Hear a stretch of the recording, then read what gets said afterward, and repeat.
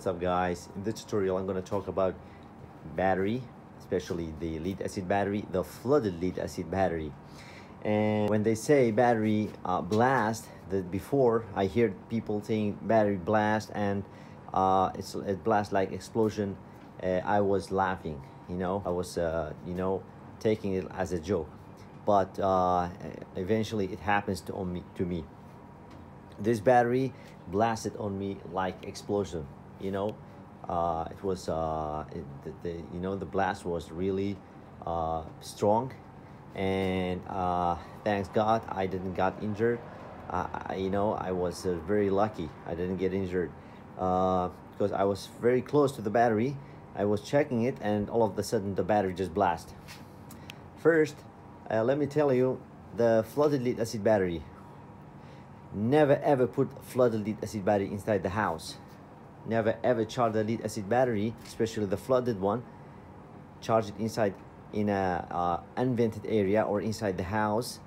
And always always if you're using lead acid battery don't use flooded lead acid battery. Use a gel type or uh, AGM never use flooded lead acid battery okay? This is a this is a warning and uh, this is not a joke.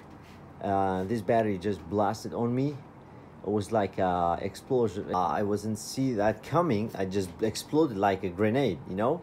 And the entire room was a, a vapor the acid vapor. And um and the floor was entirely covered with the acids and I, it was a mess. It was a mess. Inside the house it was a mess. So let me show you as you can see here. And what i came to conclusion was that the lead acid battery makes uh, hydrogen gas when they are uh, charging. During the charging uh, makes hydrogen gas and hydrogen gas eh, is explosive. It's uh, very strong you know? Hydrogen gas is very very st stronger than nuclear power you know uh, nuclear explosion. So this is the how the battery blast. This has been you know shattered. All the batteries shattered totally. This cap just flew you know just was like a, you know flying like explosion. You can see the backs has been shattered also you know. All the, the casing the plastic has been all the corner here here here Acid was spilling everywhere. Okay okay this is all due to bad quality of the eventually uh, i came to a conclusion that the I made a mistake. For number one, I put the lead acid battery inside the house. Number two, there wasn't enough vent, ventilation inside the house apparently. Number three, I mixed different type of batteries with this uh, bank. I just mixed uh, because I had I was sh uh, short one battery. Uh, the, it was 48 volt. I, I, had only three batteries like that. One of them was dead, so I put another type of battery.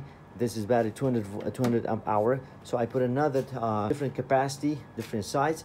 So eventually, most of the uh, voltage was going through the, those battery, boil and make a lot of hydrogen gas inside and just uh, I don't know where the spark came from it just blasted like hell you know all the you know all the all the it just shattered you know and one piece just you know punctured the roof I was very close I was very lucky I didn't uh, got blind I was very close I don't know how God saved me I think I uh, God saved me uh, that's uh, all I can say battery blasted here okay uh, and just look at the sky look at the ceiling right See that? One piece just punctured the roof. I was very lucky I didn't got blind. Look at that. The piece is still there. Just up there. Stuck in the ceiling. Another major uh, cause for that blast was the due to material, low quality of the material. This is very low quality. I can just crack it with my hand. This type of battery uh, this is very very low quality very cheap one even though it's very heavy the plates are very heavy and this is a 210 amp hour and this is a low discharge and a C20 and uh, uh, 12 volt battery. Uh, just blast they it blasted on me pretty bad. So so as you can see here it, it contained one two three four five six cells. Each cell produced two volts. So and as you can see here this is a positive. This is guys. And uh, this is the lead acid battery. It's uh, made of six cells. As you can see here one cell two cell three four five six cells. Each cell produces two volts and each cell is made of uh, plates positive plates and negative plates. This is the positive you know this is positive this is negative this is positive this is negative positive negative and so on. They all the cells are connected in series okay? On this cell 2 volt connected with this cell. These are connected in series positive to negative positive to negative till it produces 12 volt okay and as you can see here the the plates it's made each cell made of plates positive plates and negative plates. And the uh, the negative plates are, are 11 plates and the positive plates are 10 plates. They are shuffled inside each other. Most uh, the chemical reaction happens uh, on the positive plates. Chemical reaction as you can see here let me take this cell out. It's already uh i'm to take it out okay? This is the cell this one is a cell one cell okay? This is one cell okay? So the as you can see here those are the plates. One two three it's uh, uh, the positive it's 10 plates and uh, the negative is 11 plates okay? Okay the negative one plate is more than the positive plates. So most of the chemical reaction happens all as you can see those corroded one are uh, positive plates. The chemical reaction and the stress happens on the positive plates. And the negative plates are perfectly fine, okay? So as you can see, it's corroded. You know, you can break it with your finger, but the negative plates are perfectly, totally fine. And um, this is the how the chemical reaction works. And this this each chamber, each chamber has its own acid the acid of uh, on this chamber should not mix with the acid of this chamber it's gonna because if they mix it'll gonna uh, cause a short circuit and it'll drain drain the battery. So uh, this is the one thing. And this battery uh, this is the structure I told you.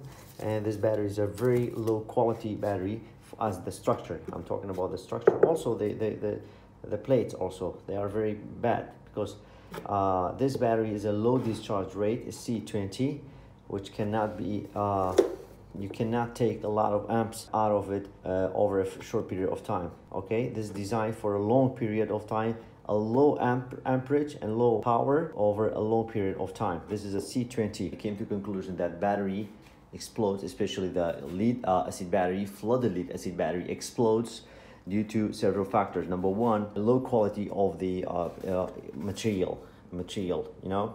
Uh, this battery is a very low quality. The casing the plastic is very low quality and that's why uh, explodes. And it has no you know it has no resistance to explosion to pressure. Number two uh, charging the battery uh, indoor in the uh, weak vented area okay? So never ever charge the battery indoor in an unvented area. Number three, mixing different capacity of battery. Like uh, if you have uh, a bank of four battery, one of the battery is 100 amp hour, the rest is 200 amp hour. That's uh, gonna make problem for you, okay? So most of the voltage might go through the other one and the small one, uh, a little bit of voltage go through it. So make the other batteries boil and make hydrogen gas and in, in the presence of the spark, in a low uh, vented area, it makes a explosion. Never ever buy uh, flooded lead acid battery uh, and especially put it inside the house. I came to conclusion that uh, I'll never ever use lead acid battery or gel type. Uh, again, I'll switch to the lithium ion phosphate battery and because uh, lithium ion phosphate battery uh, is more secure, more power density and uh, also it has a lot of uh, power in it. Uh, you can charge it and discharge it in a, a shorter amount of time. And like the lead acid battery you, you cannot charge it and discharge it in a short amount of time because it's restricted to C10 or C20 okay? Otherwise the uh, other than lead acid battery is also very dangerous. It explodes like like a, a grenade like a you know like an explosion you know? It's very dangerous and it's a very uh, you will never ever uh, use it inside the house okay? So that's my uh, that's my tips and tricks for you and that's my advice and the warning. Never ever use inside the house and uh, try to switch to the lithium ion phosphate battery because it has a more cycle life and more power density and uh, higher and quicker charging and discharging time